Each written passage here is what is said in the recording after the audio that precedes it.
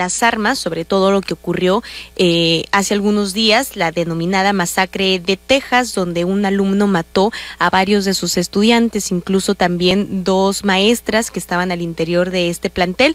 Vimos algo también que ocurrió durante el fin de semana aquí en Hermosillo, donde se veían imágenes de un joven que portaba un arma. Y para platicar sobre este tema y sobre todo el impacto psicológico que pueden llegar a tener las armas en el desarrollo de los jóvenes, ya tenemos aquí en cabina a Manuel Acuña, psicólogo clínico, a quien le agradezco nos tome esta entrevista. Manuel, muy buenos días. Selene, muy buenos días. Un gusto estar por acá. Muchas gracias por la invitación.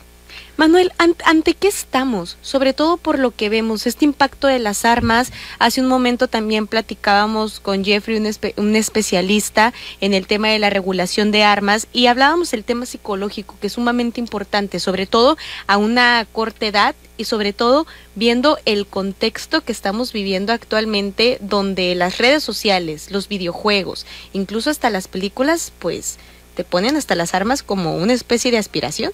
Ok. Eh, sí, definitivamente el, desarrollo que llevamos alrededor de esta cultura de las armas, como bien dices, eh, con videojuegos, con eh, las películas, con la cultura de los superhéroes, tiene una influencia en el desarrollo de los jóvenes. Pero creo que es importante el no solo pensar en esto como una causa, como las armas, los videojuegos, la música, definitivamente tiene una influencia en los jóvenes, pero también estamos hablando de la salud mental porque si nos ponemos, eh, creo yo, si vemos la estadística, pues miles de jóvenes, millones de jóvenes juegan videojuegos o escuchan música o ven películas y no todos llegan a esos extremos, no todos llegan al, al, uso indebido de las armas o al uso inclusive de las armas. Y creo que es importante no dejar de lado el aspecto de la salud mental. Aquí hablamos de trastornos de la personalidad, de episodios depresivos, cuadros depresivos, depresión severa, todos estos elementos, el elemento social, el aislamiento, eh, van a influir muchísimo también en que un joven pueda llegar a tomar una decisión como la que, la, que estás hablando. ¿Y cómo notarlo? Porque si bien es cierto, eh, cuando hablamos de salud mental, pocas personas la reconocen. Incluso todavía existen hasta tabús de no, pues es que yo estoy bien, pero finalmente a veces terminan en episodios como el que vimos, incluso lo que ocurrió en Texas. La mamá eh, argumentaba que su hijo era un hijo sano, que no se metía con nadie, que no era. O sea, ¿cómo un padre de familia puede detectar si su hijo, pues, tiene alguna especie de problema de salud mental? Ok.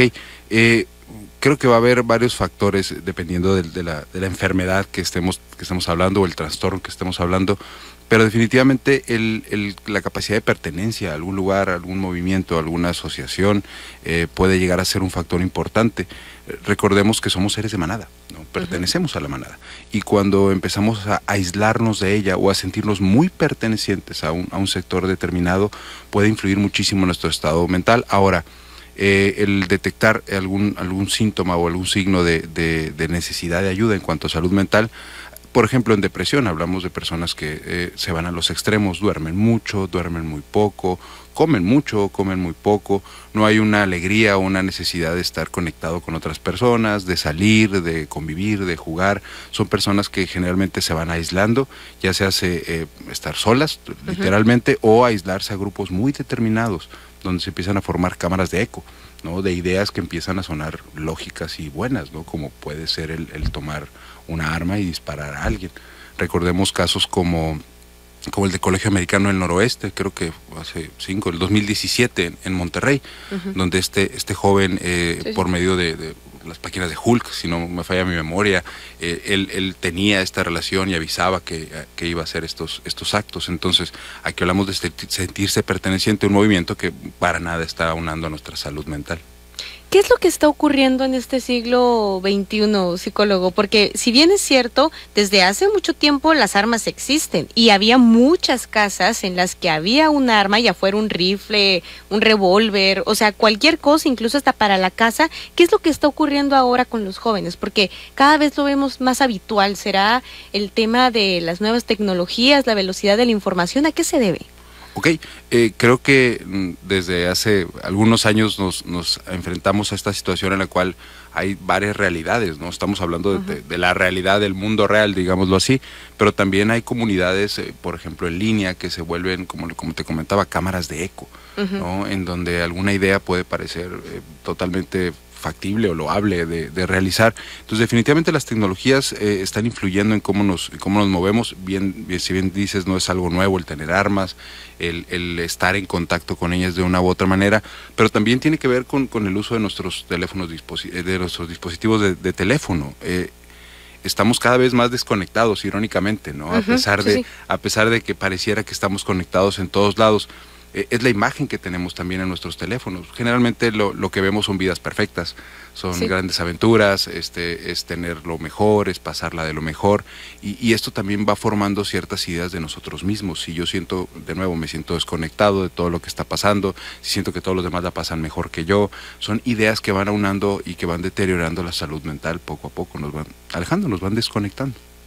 ¿Cuál sería tu consejo para las personas que están atentas de esta entrevista? Sobre todo por eso que nos acabas de comentar, que a mí me parece sumamente importante reflexionar sobre este tema, esa perfección que, de, entre comillas, ¿no? Esa perfección, entre comillas, que se vende a través de redes sociales y que poco tiene que ver con la realidad, la realidad. real. sí, sí. Eh, bueno, creo que la, la, la, la, línea lógica es el darnos un espacio, el poder desconectarnos, el, el volver un poco a, a, la realidad, el tener claro y entender que lo que vemos no necesariamente es la realidad. A fin de cuentas, el, el famoso algoritmo en el teléfono uh -huh. nos va a dar lo que queremos ver, ¿no? Nos va a decir lo que queremos escuchar. Y, y de nuevo, esto puede formar estas, insisto en ello, cámaras de eco en las cuales las ideas se pueden consolidar aún no siendo ideas, ideas correctas. Entonces, uh, creo que el, el poder regular, autorregularnos, a fin de cuentas, eh, el, el, uso de estos dispositivos, cómo nos comprometemos, qué tanto tiempo pasamos en ello, cómo preferenciamos o, deberíamos de preferenciar el estar con alguien, el conocer a alguien, el convivir con alguien, el, salir al aire libre, eh, siempre será una opción que nos, que nos brinde esta oportunidad de conocer un poco más, de estar en contacto. Eh, por ejemplo, hacer bullying en, línea.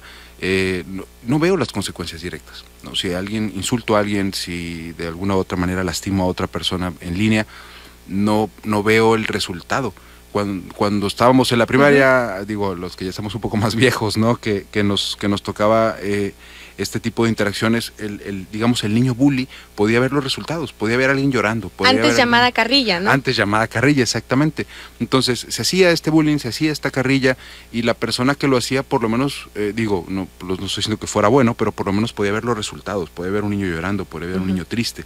Hoy hago esto en línea y, y, lo único que veo son las risas, el que me digan que estuvo bien. El like. El like, exactamente, y no veo los resultados directos que tiene hacia, hacia los demás. Entonces, tener en cuenta cómo estamos eh, usando las redes, qué tanto las regulamos, porque a fin de cuentas, eh, digo, no, no, creo que debería ser así tan, tan rígido, pero regulamos el uso de alcohol. Hasta los 18 años puedo tomar alcohol. ¿No? Uh -huh. ¿Cómo podríamos o cómo deberíamos de regular el, el uso de los teléfonos? A fin de cuentas, tomando en cuenta que también es un gran instrumento y creo que no se trata de satanizarlo tal cual, no, no decir el teléfono es el diablo y todos los jóvenes no deberían de tenerlo, no, pero de qué manera podríamos regularlo, aprender a hacer estas cosas, que creo que es algo que con el tiempo a fin de cuentas iremos haciendo, ¿no? sin caer en la censura, sin caer en, en, en ser dictatoriales en ese sentido. Claro, eh, psicólogo Manuel Acuña, por último le pregunto, ¿debemos preocuparnos por lo que vimos a las afueras de la Universidad de Sonora? Ok, eh, creo que debemos de preocuparnos por, por nuestra situación geográfica, ¿no? Somos vecinos de Estados Unidos y, y, generalmente recibimos mucho de lo que pasa acá, dicen por ahí, con algunos años de retraso, pero son situaciones que se empiezan a repetir en, en nuestro país, en particular con lo que sucedía en la Universidad de Sonora, eh, escuchando un poco las noticias en estos últimos días, escuchaba una entrevista con este joven el día de ayer, y, y, y, debo admitir que no sé si fue en broma, estaba siendo sarcástico o, o por qué contestaba lo que contestaba, pero él hablaba de pertenecer a una, un grupo de rock, este cripto rock, que entiendo está combinando estas cuestiones de las criptomonedas con rock, de regalar dinero, pero también decía ser este o pertenecer a un movimiento heteronormativo en pos de la familia, religioso, ecologista, y este joven hablaba sobre el poder que sentía tener una arma, ¿no? El poder de quitar una vida, eh, hacía esta analogía de como tener un caballo entre las piernas y poder galopar. De nuevo, no sé si este joven hacía estas cuestiones al aire de forma sarcástica irónica, en broma o es algo que él pensaba, pero creo que es interesante pensar justamente ¿no? estos movimientos, estas ideas que, van encontrando rebote en algunos otros compañeros y compañeras y que van formando estas cámaras de eco, ¿no? en las cuales eh, se puede llegar a, tener esta aprobación de los demás. Insisto, esto es lo que yo escuchaba de este joven, de, la persona que, que, realiza el video en, una entrevista el día de ayer y, y, de nuevo, no sabría si era un tono irónico o sarcástico el que estaba usando o en verdad estaba hablando desde su, sus creencias y sus pensamientos, pero son estos movimientos eh, extremistas, ¿no? De, pensamientos bastante eh, de derecha, creo yo, o extremos, hablaba de de ser un priista en pos de la familia heteronormativa. Entonces, eh, de nuevo, en caso de que sea una creencia que se sostenga, creo que es importante sí poner un poco de atención en hacia dónde están yendo nuestros pensamientos, nuestras ideas, nuestra cultura.